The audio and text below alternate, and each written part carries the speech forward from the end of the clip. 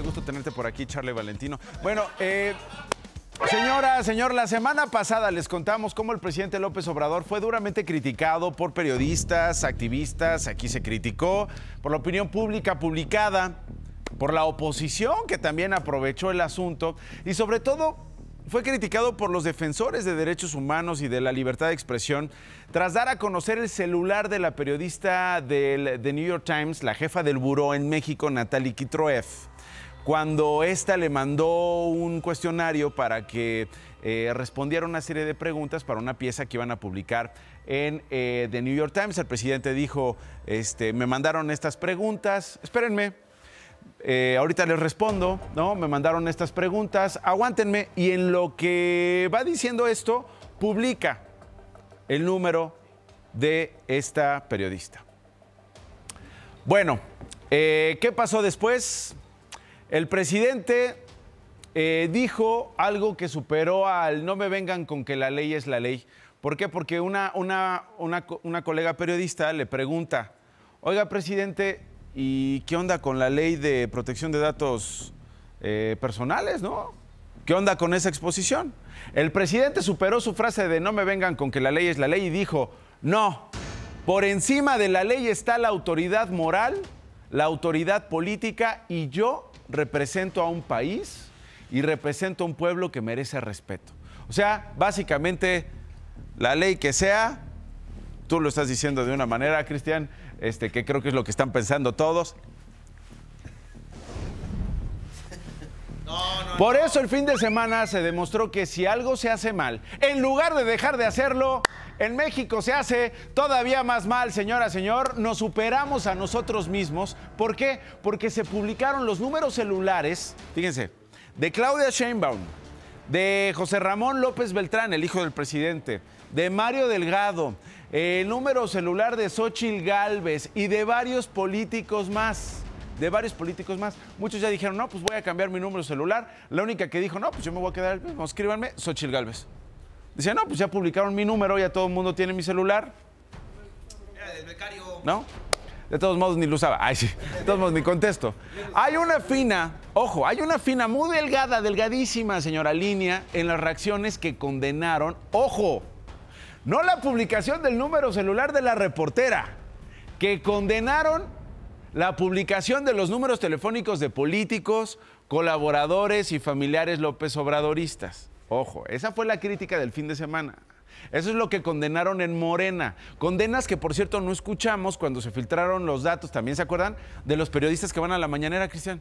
Que les pedían no copia del pasaporte, que les pedían este, que su dirección, el número, el número de teléfono, se tenían que registrar. Y bueno, se filtraron los datos, Cristian. No hubo condenas. No hubo condenas en ese sentido.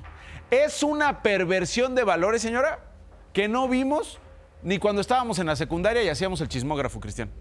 Ahí todavía había valores y había principios, ¿sí o no, Rodrigo? Mire, todo lo que uno contaba en un chismógrafo, ¿sí o no? Ahí estaba la, amiga, chismosa y metiche de, de, la secundaria que se sentaba como en medio del salón, estratégicamente, haciendo la pregunta de, ay, ¿quién te gusta? ¿Cuándo te diste tu primer beso? ¿En dónde? Por dónde, ¿no? Varias cositas que te preguntaban en el chismógrafo y entonces uno iba pasando el chismógrafo de butaca en butaca respondiendo, ¿no? Ponías ahí tu nombre, ¿no? Pues Cristian con K, porque había dos Cristian, con C y con K. No, pues yo soy el Cristian con K, Cristian Flores con K. Y iba respondiendo y mira, había un respeto, Cristian. Por unos meses, por unos meses, o sea, era el chismógrafo, sí te, o sea, la idea del chismógrafo era de que te enteraras, ¿no? De todo lo demás, o incluso sin poner nombre. Pero había códigos de honor. Había, mire, a pesar de que se trataba de chismosear y de revelar al final del día eh, los secretos que teníamos en la secundaria, había un código, había un respeto que ya la verdad ya no se tiene. ¿No? ¿Se acuerdan? En ese entonces el que hacía el chismógrafo aguantaba, aguantaba toda esa información, mira, resistía hasta cuando todos estábamos de acuerdo en que órale ya, rola el chismógrafo para enterarnos, ¿sí o no? Los cuidaba mejor que lo que se cuidan los datos personales de periodistas en Palacio Nacional, hermano.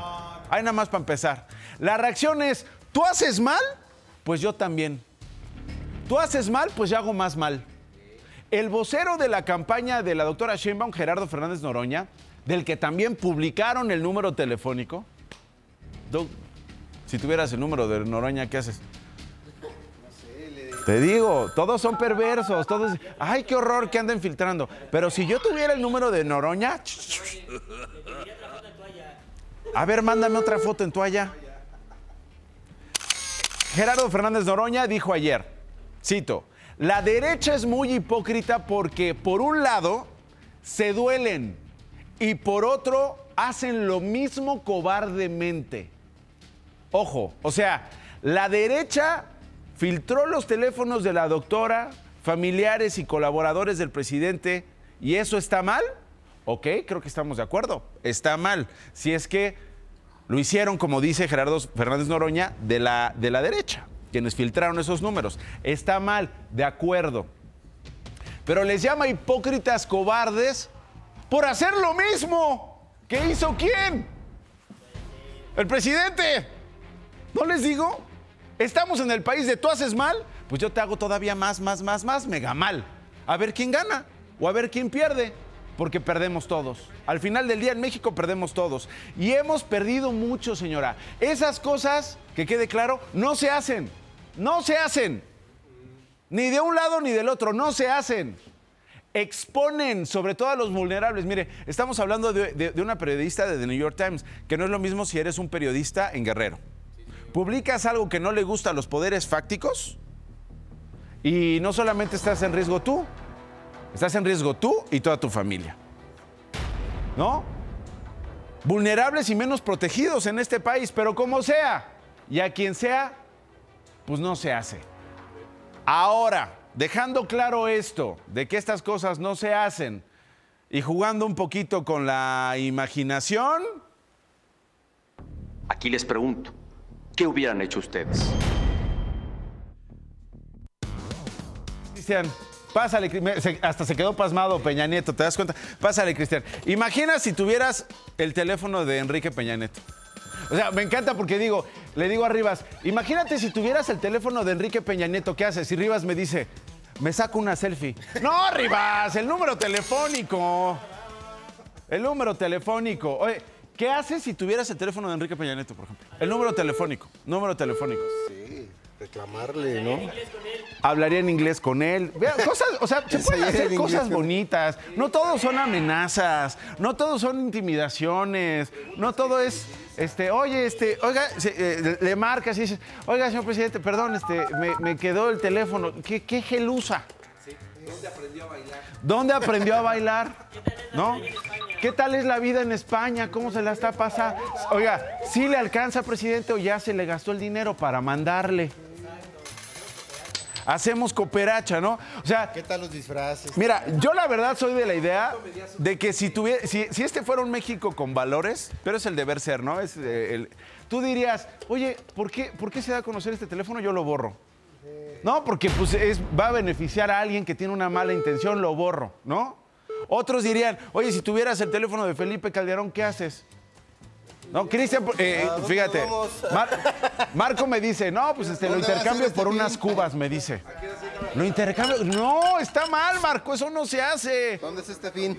¿En qué cantina? Si tienes, si tienes el número de Felipe, ¿dónde es, ¿dónde es este fin? ¿Dónde es la cantina? No, no, me dice, no me dice Litoc, oye, si tuvieras el teléfono de Felipe Calderón, no, pues le pido el pack.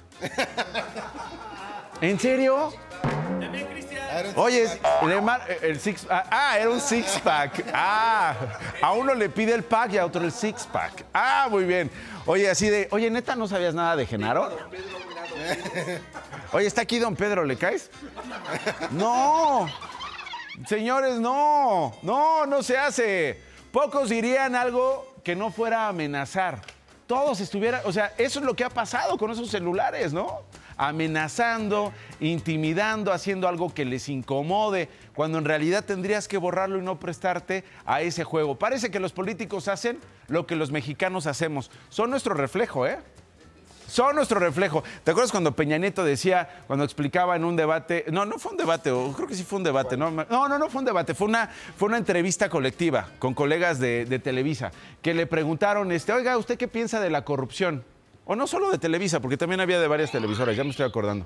Y, este, y, y, y León Krause le dice, oiga, este, ¿usted qué piensa de la corrupción? Y Peña Nieto se avienta un choro que básicamente era explicar que los políticos son corruptos diciendo que la corrupción en México era cultural. Ah, bueno, entonces no hay opción. Si es cultural y todos lo hacen y lo van a hacer, yo también lo tengo que hacer.